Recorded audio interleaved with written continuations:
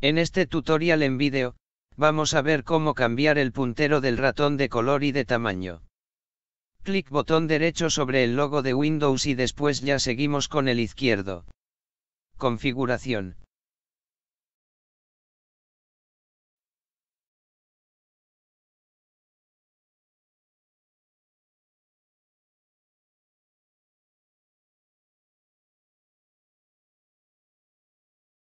Ahora vamos hasta el apartado de accesibilidad.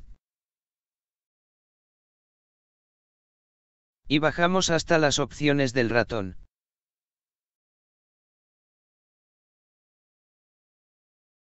Bajamos otra vez hasta donde dice puntero del mouse.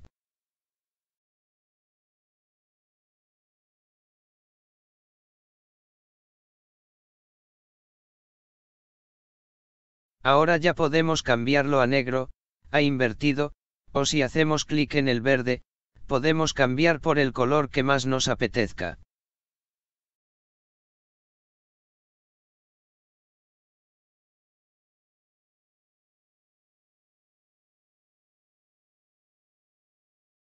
Un poco más abajo, tenemos una barra de desplazamiento con la cual podremos cambiar el tamaño del puntero del ratón.